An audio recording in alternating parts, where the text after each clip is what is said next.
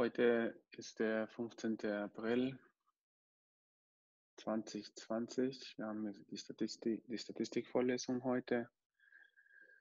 Und wir machen heute weiter mit der sogenannten Weibul, Weibul Verteilung.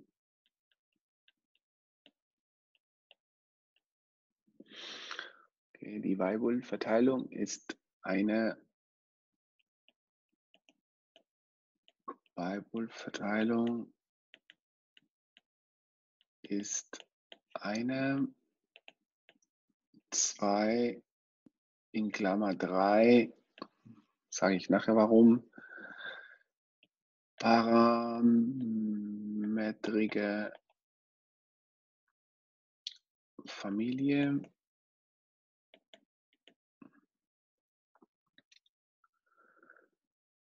von Wahrscheinlichkeitsverteilungen.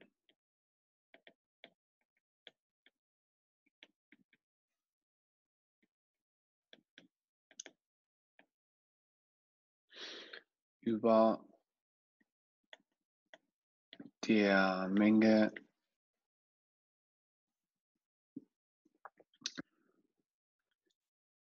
der positiven reellen Zahlen.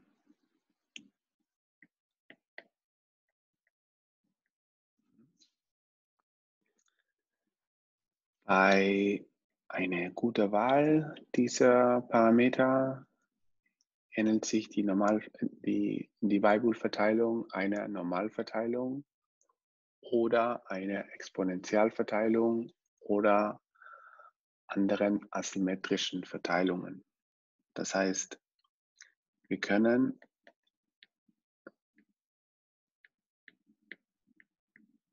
die Parameter anpassen und eine Normal Normalverteilung simulieren oder eine exponentielle Verteilung simulieren oder, oder, oder. Ja, das ist wichtig, weil im Grunde genommen ähm, diese Weibull-Verteilung ist genereller als ähm, ähm, als die anderen.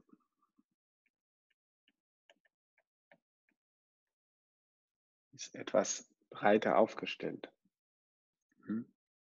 Sie wird unter anderem zur statistischen Modellierung von unterschiedlichen industriellen Prozessen verwendet.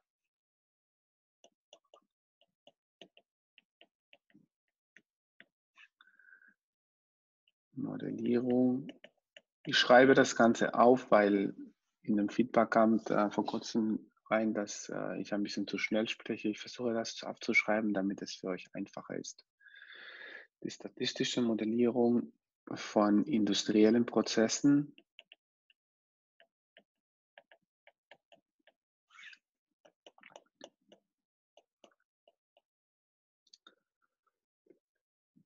um, angewendet. Äh, okay, also die statistische Modellierung von industriellen Prozessen wird dann angestrebt mit dieser Verteilung. Und anders als eine Exponentiellverteilung, anders als eine Exponentiellverteilung berücksichtigt sie die Vorgeschichte eines Objektes berücksichtigt die Weibull-Verteilung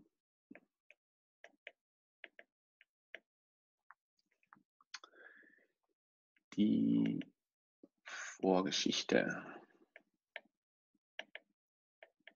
Das bedeutet, das äh, bringt mit sich, dass äh, diese Weibull-Verteilung ähm, ist also Gedächtnis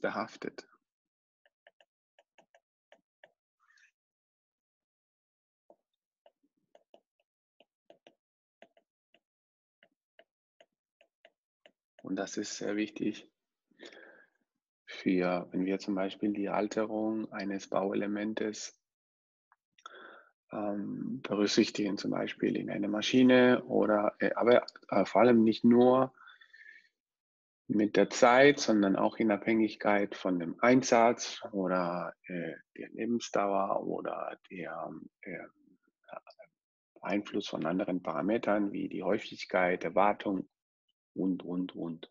Okay. Wie gesagt, wir suchen hier, wir streben eine Modellierung an. Gibt es Fragen soweit?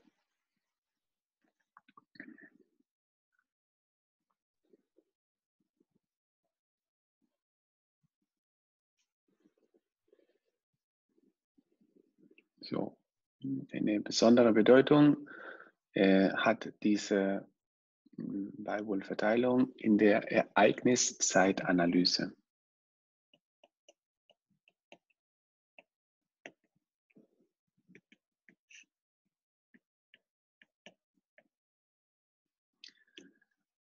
Und ich persönlich habe ich in meinem professionellen Werdegang diese Weibull-Verteilung sehr intensiv in Qualitätsmanagement äh, angewendet. Wenn man herausfinden möchte, wann Fehler entstehen in einer Anlage, in der Produktion von, äh, von Teilen, ähm, dann äh, nutzt man in der Regel auch im professionellen Kontext die Weibull-Verteilung. Okay, es ist nichts, nichts Theoretisches oder so, das ist äh, das tägliche Brot von einem Qualitätsmitarbeiter. Äh, Gehört zu Six Sigma-Programmen, sowas zu lernen und deshalb bringe ich es euch heute bei. Gut, wenn keine Fragen sind, ich gucke immer wieder auf den Chat. Falls jemand Fragen hat, einfach drauf schreiben und dann versuche ich, so gut es geht, beantworten. Okay. Ähm, dann machen wir die äh, Definition von den Parametern. Und ähm, wir können äh, den ersten Parameter äh, darstellen. Das ist der äh, Skalenparameter.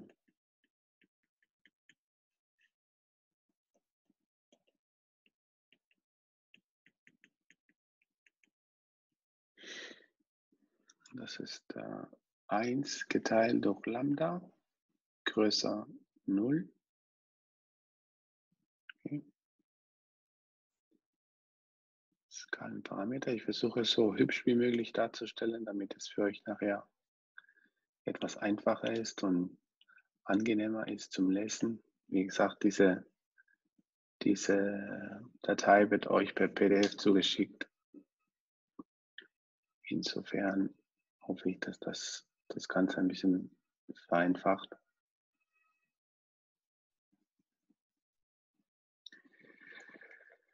Ich sage jetzt ein bisschen langsamer.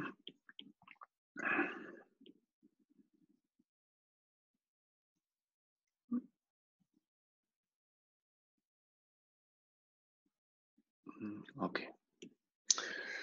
So, das Skalenparameter ist immer größer 0, ist 1 geteilt durch Lambda. Und in manchen Anwendungen, und das ist wichtig jetzt, okay, das ist so ein bisschen ein, eine Besonderheit, in manchen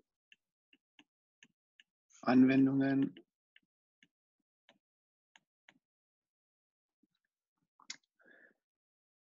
in Klammer insbesondere bei Zeitabhängigkeiten, Zeitabhängig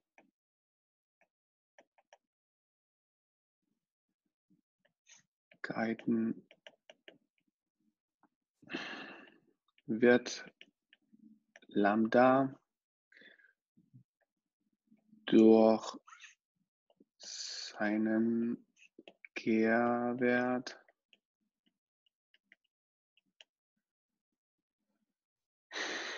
äh, in Klammer die charakteristische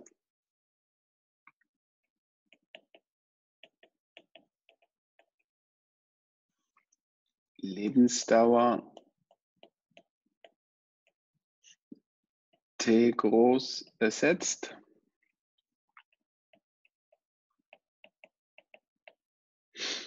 Okay. Und T in Klammer ist bei Lebensdauer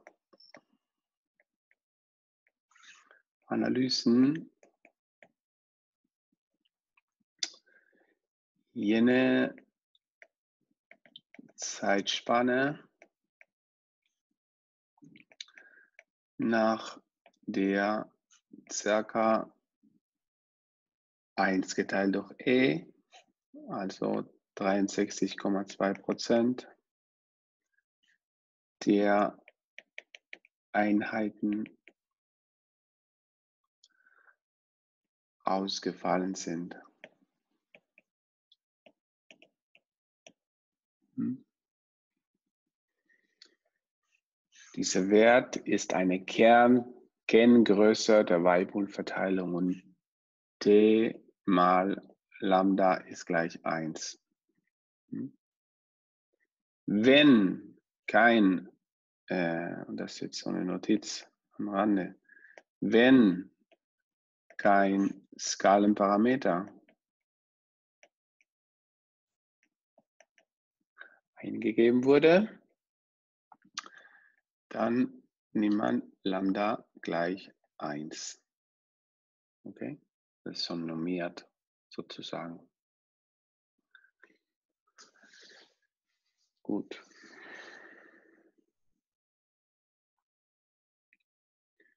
Fragen?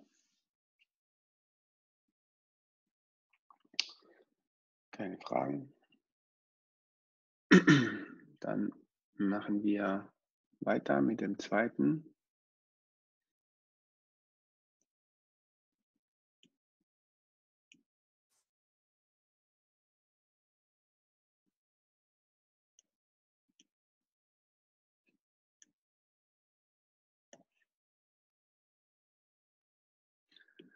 Zweite ist äh, Formparameter.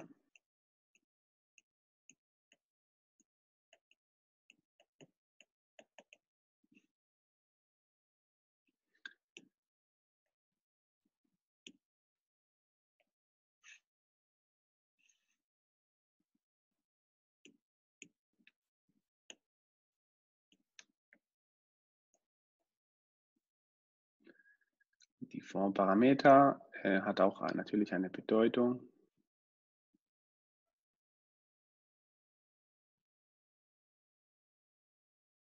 Okay. Die Formparameter oder Weibul-Modul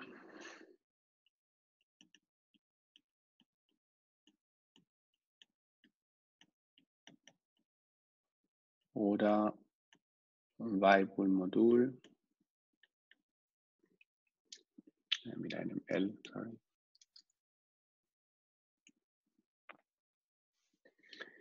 ist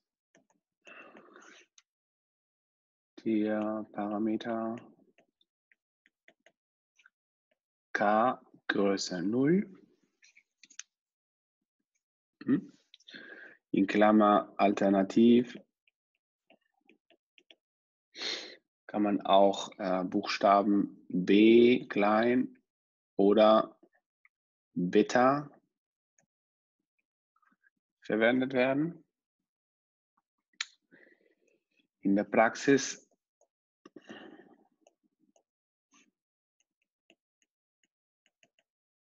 liegen die Werte zwischen 0,25 kleine gleich k kleine gleich 5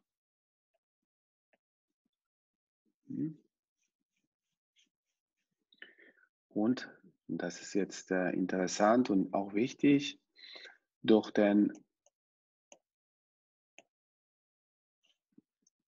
Formparameter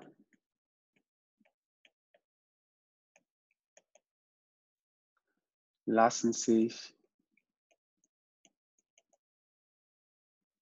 verschiedene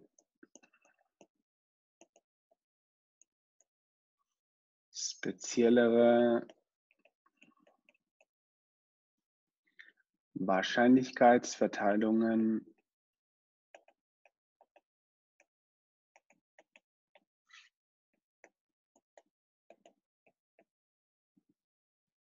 realisieren. Doppelpunkt. Zum Beispiel für k gleich 1 ergibt sich die Exponentiell Exponentialverteilung.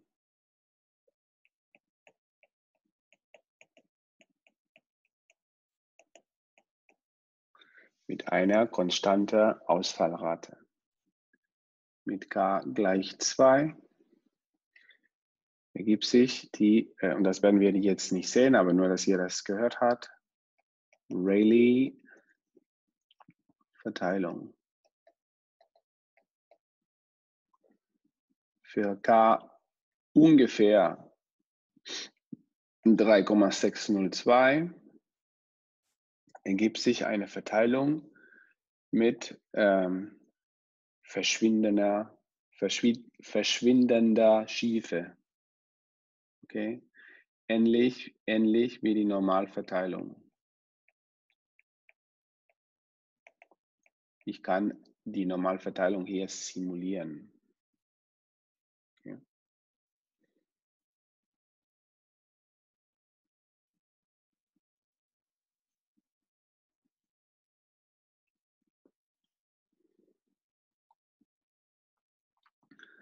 So, wie schaut das Ganze aus? Mathematisch betrachtet. Gibt es Fragen soweit? Wie schaut das Ganze aus, mathematisch betrachtet? Ich habe erstmal die Dichtefunktion, die Wahrscheinlichkeitsdichtefunktion.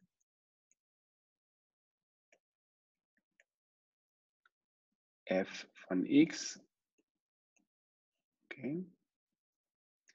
Das ist die Wahrscheinlichkeit, dass x groß gleich x ist. Und das ist gleich Lambda mal k. Lambda x mal hoch k minus 1 mal e hoch Lambda x hoch k.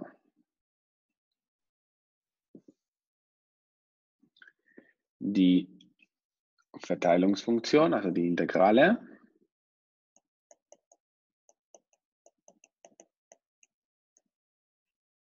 f groß von x.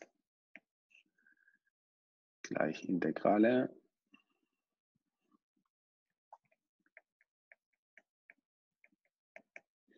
Ist gleich. 1 minus e hoch Lambda mal x hoch.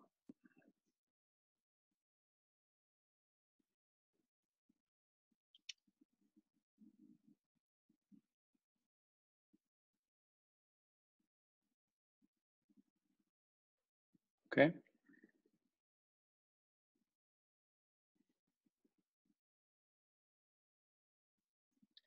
Fragen soweit?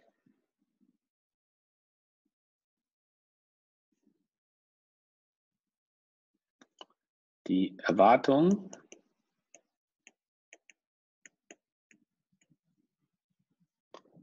Erwartungswert oder in unserer Nomenklatur m groß 1 hm, e von x gleich m groß 1 ist gleich 1 geteilt durch Lambda mal die Gamma-Funktion 1 plus 1 geteilt durch k. Die Gamma-Funktion, die Gamma-Funktion ist definiert als die Gamma von einem Parameter n ist gleich n minus 1 faktoriell, wenn ähm, n zu den natürlichen Zahlen gehört. Wenn zum Beispiel n 1,5 wäre oder so, dann braucht man entweder eine Tabelle oder eine, ein programmierbares Taschenrechner, der das machen kann. Da dieses programmierbare Taschenrechner nicht erlaubt ist in die Prüfung, musst du wissen.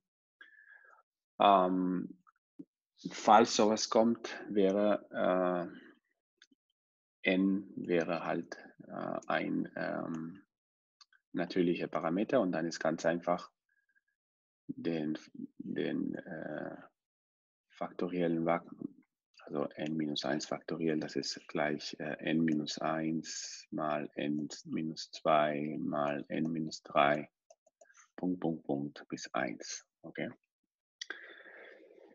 Das ist ganz easy. Okay, die äh, Varianz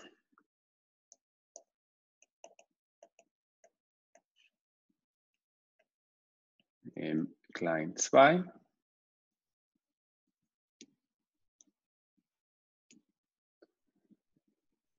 ist äh, gleich. Varianz von x ist gleich 1 geteilt durch Lambda Quadrat. Gamma-Funktion von 1 plus 2 geteilt durch k minus Gamma-Funktion Quadrat 1 plus 1 geteilt durch k.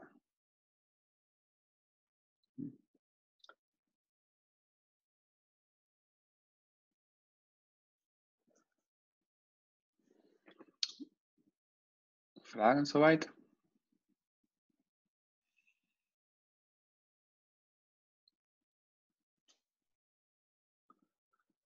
Okay, dann lasse ich euch ein bisschen drüber nachdenken und in fünf Minuten oder so schicke ich euch nochmal eine Einladung. Bis gleich.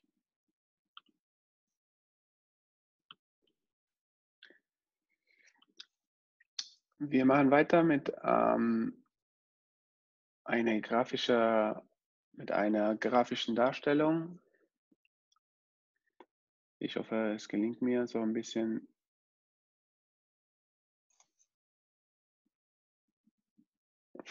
zeichnen. Ähm, erstmal schreiben wir die dichte Funktion grafisch für verschiedene Parameter. Okay. Jetzt machen wir Lambda gleich 1, k gleich 0,5, in, wenn wir in dunkelblau. Okay. Und wir machen auch die Verteilungsfunktion.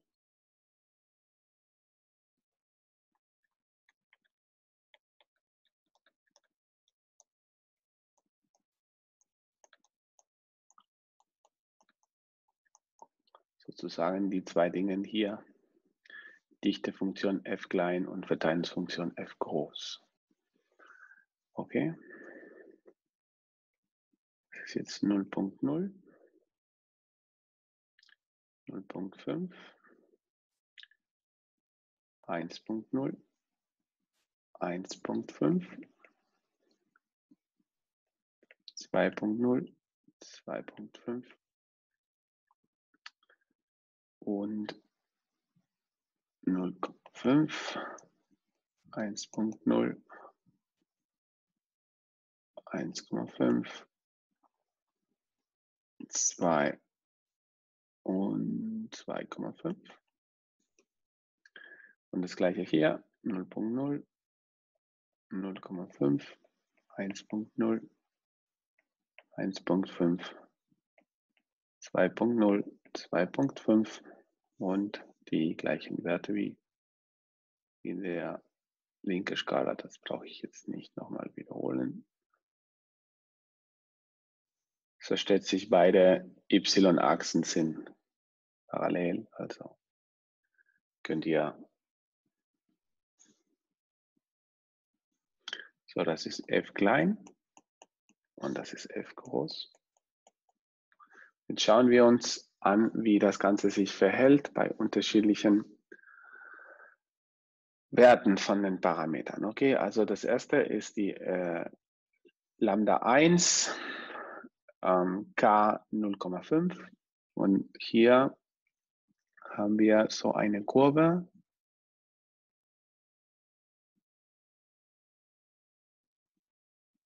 Vielleicht etwas tiefer, warte mal.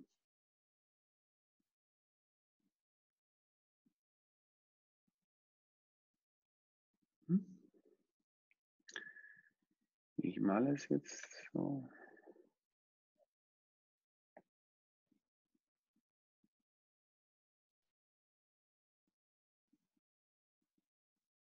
Zack. Ähm, die, ne, Entschuldigung, da, sorry, das habe ich jetzt nicht korrekt gemacht. Das ist 0,2, das muss bis 1 gehen, äh, 0,4,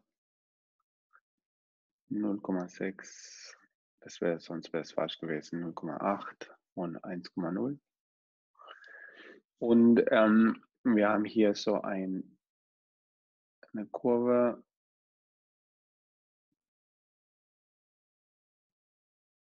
Ungefähr. Okay, es muss nicht so mega genau sein. Ich, es geht nur darum, dass ihr ein Gefühl kriegt.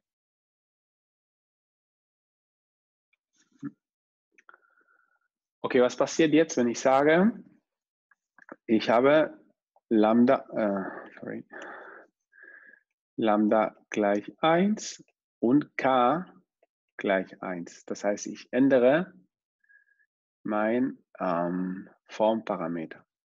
Das andere lasse ich konstant und ändere meinen Form, mein Formparameter. Und ich hm, beschreibe das jetzt so als äh, rosa halt. Hm. Gut, dann, dann ändert sich die Kurve so, dass äh, mein, ähm, meine Dichtefunktion nicht mehr so bei unendlich anfängt, so ganz groß, sondern gehe ich hier her und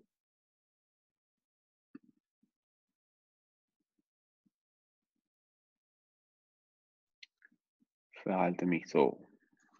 Okay, also ich fange bei 1 an und verhalte mich so. Hm. Wenn ich äh, die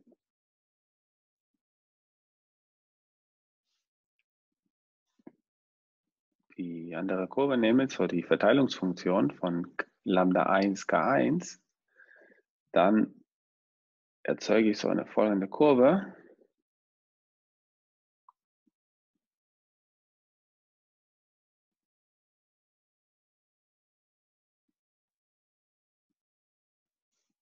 Hm.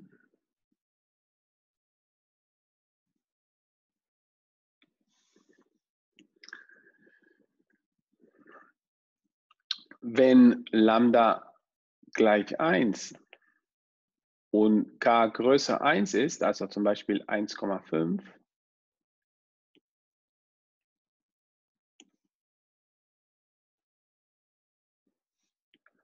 und das machen wir jetzt grün,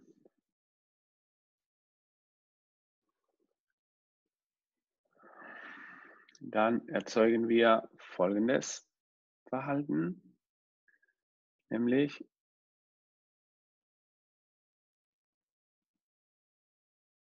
so eine exponentiell ähnliche Sache.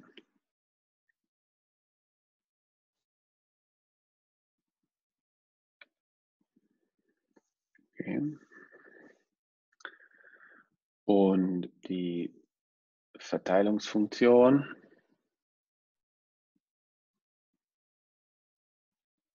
Hat so ein bisschen eine Delta da, so hat eine S endliche Form.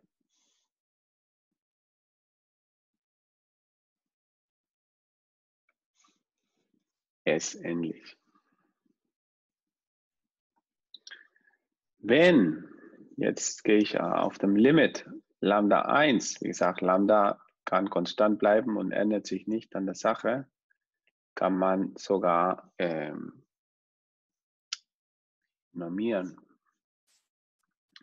wie wir schon gemacht haben mit der Normalverteilung und so weiter. Dann erzeuge ich eine normalähnliche Funktion.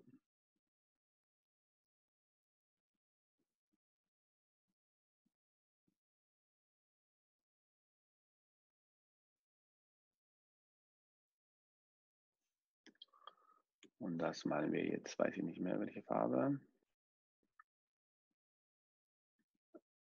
Leicht blau. So, das ist normal ähnlich. Die ähm, Verteilungsfunktion von der normal hat eine sehr ähm, steife S-Verteilung.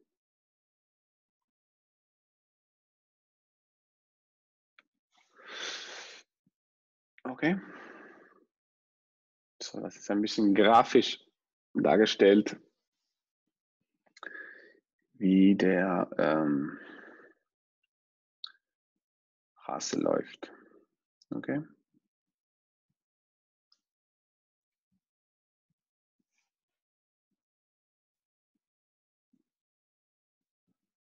Fragen?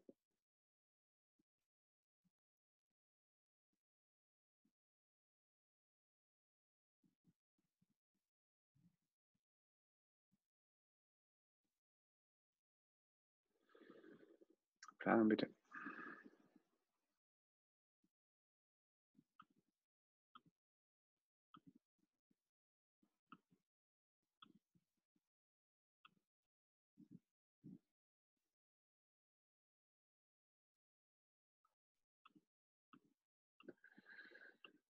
Okay, so, dann gehen wir ähm, und machen ein Beispiel. Das war ein bisschen Theorie. Und wir machen eine Übung. Ich lasse euch die Übung dann ein bisschen probieren. Und dann gehen wir ein bisschen weiter in der Praxis. Die zufällige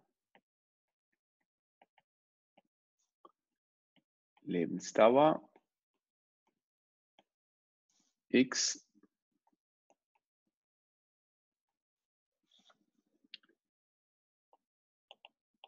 Eines Elektromotors entspricht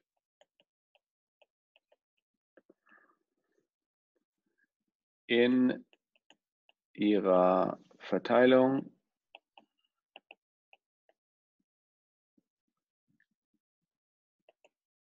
einer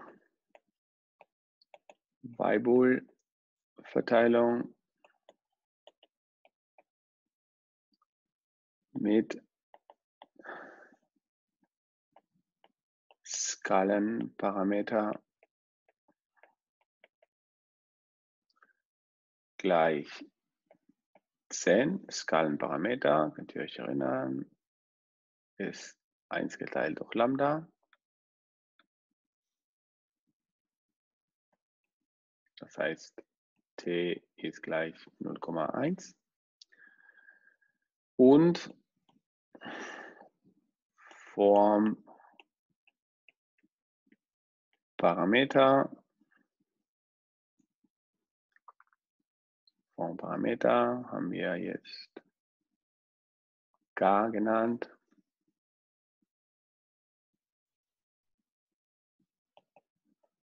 Gleich 2. Okay. Bestimmen Sie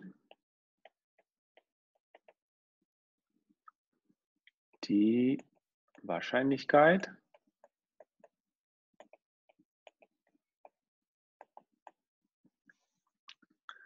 dafür, Komma, das. A, die Elektromotor bereits im ersten Jahr ausfällt. Äh, X wird in Jahren äh, ermittelt. B. Der Elektromotor mindestens zehn Jahre arbeitet. C mehr als fünf, aber höchstens zehn Jahre arbeitete.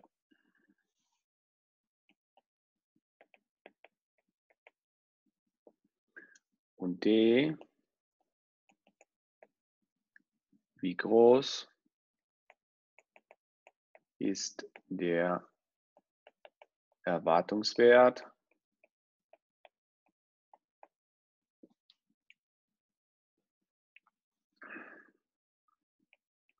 Und die Varianz dieser Verteilung. Okay, mach bitte ein Screenshot. Ich lasse euch zehn Minuten drüber nachzudenken. Ähm, ein Notiz oder ein Kommentar ist wichtig für den Fall, dass in die Prüfung kommt. Okay. Ein Wert zum Beispiel von Gamma, ich habe es vorher schon gesagt, 1,5, was vorkommt in der Übung, ähm, kann man mit einem Taschenrechner oder mit, einer, mit einem Programm mit R oder so äh, errechnet werden. Ähm, wenn diese Gamma-Funktion nicht auf dem Taschenrechner vorhanden ist, äh, beziehungsweise in der Klausur wird ein programmierbarer Taschenrechner nicht zugelassen, ähm, kann so ein Wert nicht in der Klausur erfragt werden. Das heißt, äh, sowas wie jetzt in dieser Übung musst ihr andere Wege und Mittel, zum Beispiel online könnt ihr gerne Gamma-Funktion in Google äh, eingeben und dann, äh, dann wird es errechnet. Ähm, in der Klausur äh, kommt ein Gamma n ist gleich n minus 1 faktoriell, aber n gehört zu den nat natürlichen, äh, also n groß äh, Zahlen n ist größer gleich 1. Okay? Ansonsten äh, kann sowas nicht erfragt werden, weil man kann es nicht äh, rechnen. Beziehungsweise gibt es Tabellen und so, aber das würde den Rahmen springen. So, äh, ich möchte, dass ihr euch auf die, auf die Statistik konzentriert und nicht äh, auf, aufs Rechnen. Alright. Gibt es Fragen?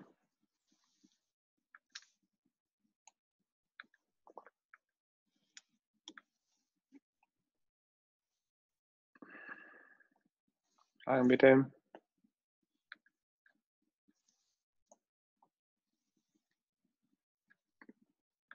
Gut, dann lasse ich euch ein bisschen kämpfen und in ein paar Minuten schicke ich euch nochmal eine Einladung. Bis gleich. Mit einer äh, Anwendung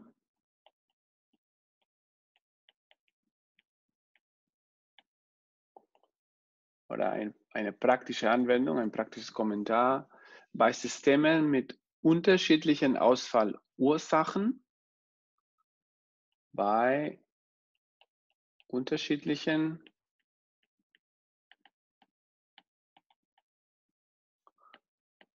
Ausfallursachen wie beispielsweise technische Komponente, lassen sich äh, diese mit drei Weibull-Verteilungen abbilden, sodass es eine sogenannte Badewanne Badewannenkurve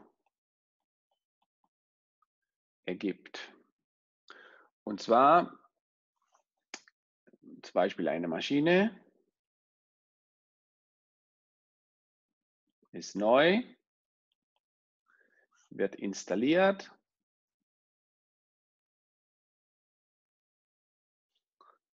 Und die Maschine ist, wie gesagt, neu, ist, nicht, ist, ist bekannt, ja, äh, dass am Anfang kriegt man sogenannte Kinderkrankheiten. Okay? Und das ist eine Frühauswahlrate. Okay? Und da, hier haben wir K kleine 1. Das ist eine, die, die Einlaufphase.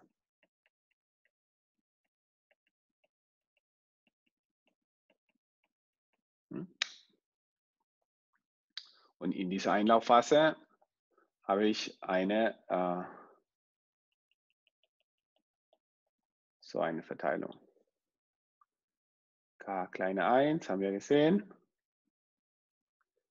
Ist äh, wie diese blaue Kurve. Machen wir hier wieder die gleiche Farbe, damit es äh, nachvollziehbar ist. So, zack. Hm? Einlaufphase. Dann haben wir zufällige Ausfälle.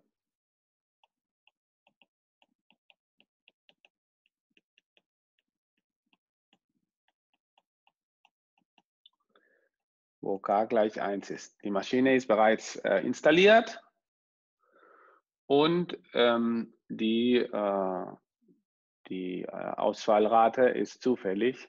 Okay. Und da haben wir sowas ähnliches wie das hier.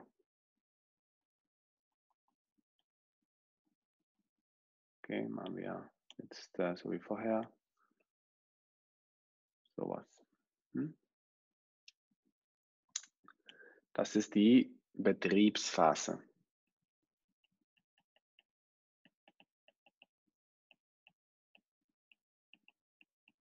Hm? Und dann gibt es am Ende eine Ermüdung.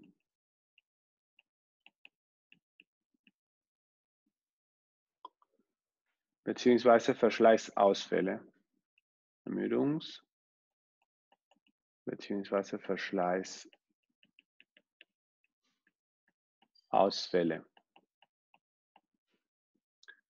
Indem äh, K größer 1 ist und äh, das ist am Ende von der Produktlebensdauer. Die Maschine ist fast äh, vor dem Kollabieren. Und wenn k größer 1 ist, dann haben wir zum Beispiel ähm, so eine Verteilung wie vorher.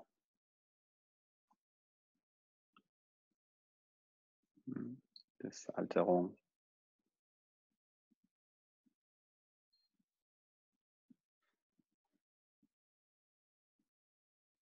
Sowas, okay? Äh, mache ich jetzt grün. Je nachdem. Okay, so. Und am Ende, wenn wir diese drei fassen, äh, so äh, Ende der Endephase. Am Ende, wenn wir diese drei Dinge äh, aufaddieren, die äh, erste, zweite, dritte Phase, Erste, zweite, dritte Phase.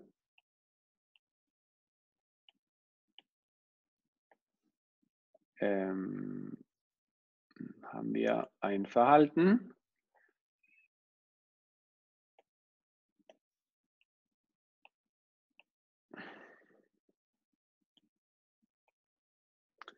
Die äh, wir so darstellen können. So eine Badewanne.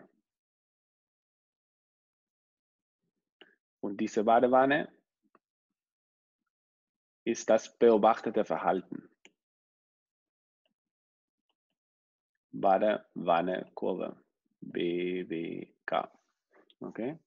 Das ist das beobachtete Fehler oder die, die beobachtete Fehlerrate. Okay?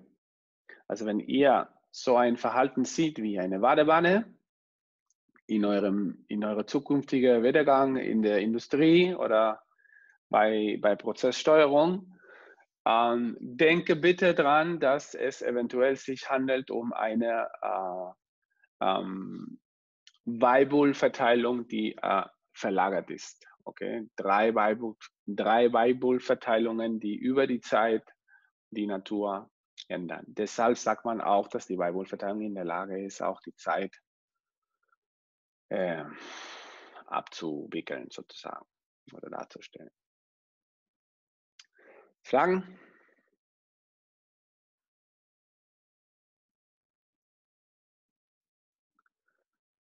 Okay, keine Fragen kommen, dann, äh, dann schauen wir uns den letzten, den letzten Punkt an. Äh, nach der Anwendung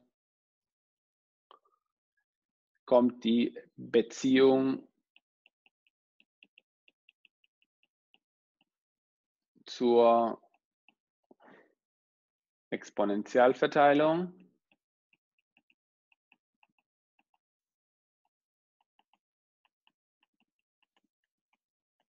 Hm?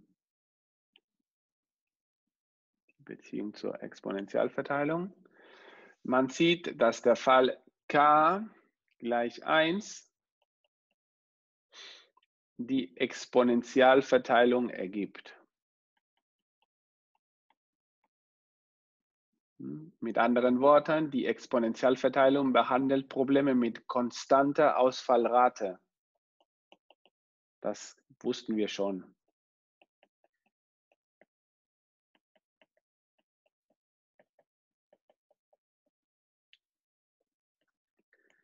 Behandelt Probleme mit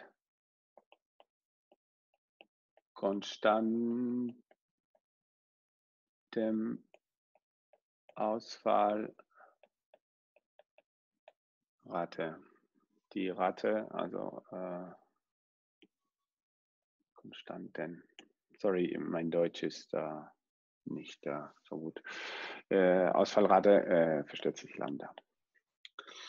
Untersucht man jedoch Fragestellungen mit steigender oder fallender Ausfallrate, also k größer 1 oder k kleiner 1, dann geht man von der Exponentialverteilung zur Weibull-Verteilung über. Untersucht man Probleme mit einer steigenden Lambda größer 1, äh, sorry, K größer 1 oder fallender K kleiner 1 Ausfallrate.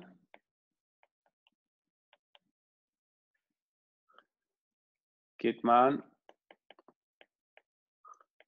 von der Exponentialverteilung weg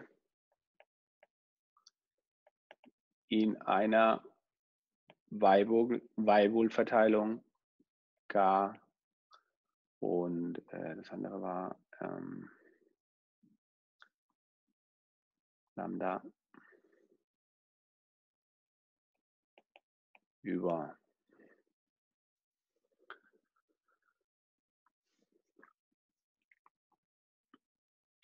ist der Parameter k größer 1, dann wird ein System mit einer mit der Zeit ansteigenden Ausfallrate, also steigender Ausfallrate. Das heißt, das System ist ein sogenanntes alterndes System. Beschrieben. Umgekehrt, wenn ich äh, mit der Zeit besser werde, dann spreche ich von einem lernenden System, k kleine 1, fallende Ausfallrate. Das ist ein lernendes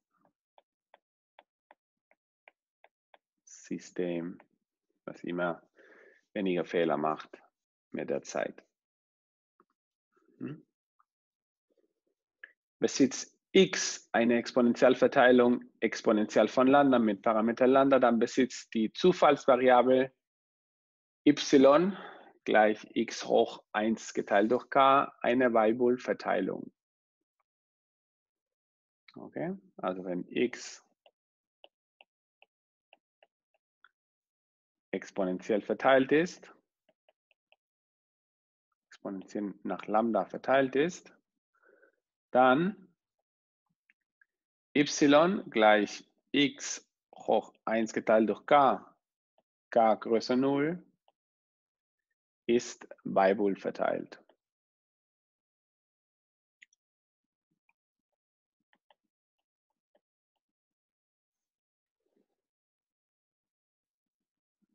Und die äh, Parameter von dieser Weibull-Verteilung sind äh, Lambda hoch 1 geteilt durch k und k. Der Beweis mache ich jetzt nicht, okay?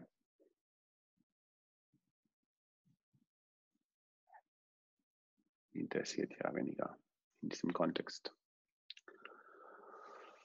Okay, gibt es Fragen?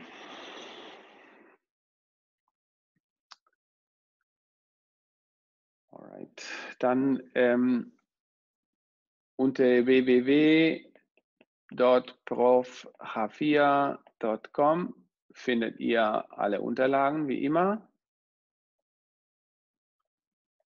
Ähm, und zwar die ganzen Videos werden dort hochgeladen, beziehungsweise den PDF mit der Unterlage schicke ich euch in den nächsten paar Minuten.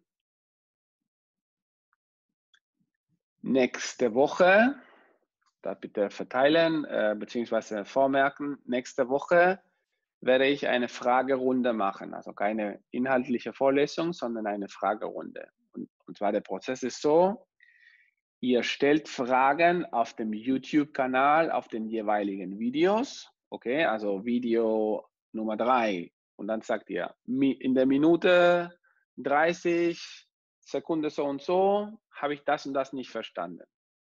Okay, und da stellt ihr die Frage auf dem YouTube-Kanal. Dann ist für jeden sichtbar. Ich gucke es mir an und diese Frage stellt ihr bitte ähm, vor der Vorlesung. Und wir machen die Runde nächste Woche äh, offen, wird nicht aufgenommen. Das heißt, ihr, ihr könnt, ihr dürft, ich werde auch das, äh, das, das Mikrofon einschalten. Jeder, der eine Frage auf dem YouTube-Kanal gestellt hat, äh, wird die Frage stellen und wir, wir kommen in Dialog. Okay? Die Vorlesung wird nächste Woche nicht aufgezeichnet und somit nicht hochgeladen. Ich möchte, dass wir auch ein bisschen Dialog haben. Das ist schwierig jetzt beim E-Learning, aber ähm, so machen wir das, okay? Also bitte erstmal die Frage. Ich möchte nicht erwischt werden mit irgendeiner Frage, die ich nicht kenne. Deshalb bitte die Frage im Vorfeld aufschreiben auf dem YouTube-Kanal als Kommentar mit auf dem jeweiligen Video, damit ich es auch zuordnen kann und mit ähm, Input von der Minute, wo es gesagt wird. Ist verstanden?